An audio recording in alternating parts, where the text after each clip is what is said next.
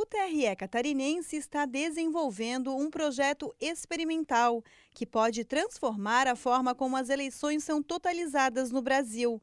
A intenção é que o próprio mesário transmita o boletim de urna lendo o QR Code que é impresso pela urna eletrônica no encerramento da sessão eleitoral, utilizando seu próprio celular.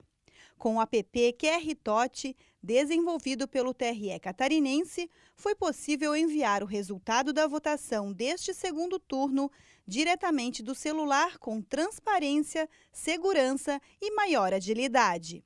No dia da eleição, às 17 horas, assim que o mesário encerrou a sessão eleitoral e imprimiu o BU, ele pôde acessar o aplicativo QR Tot e clicar na opção Iniciar a leitura do QR Code. O app fez o reconhecimento e a leitura das informações automaticamente e transmitiu esses dados para um banco de dados do TRE. Para a transmissão das informações, foi utilizada a conexão com a internet.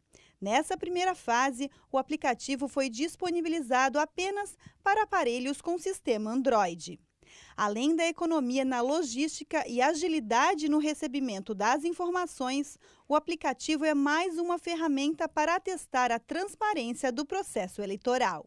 Com esse projeto, está sendo possível verificar a viabilidade dessa proposta e fazer uma comparação entre o tempo de recebimento dos resultados a partir da própria sessão eleitoral e o tempo de recebimento das mídias de resultados que são transportadas fisicamente até um local de transmissão da Justiça Eleitoral.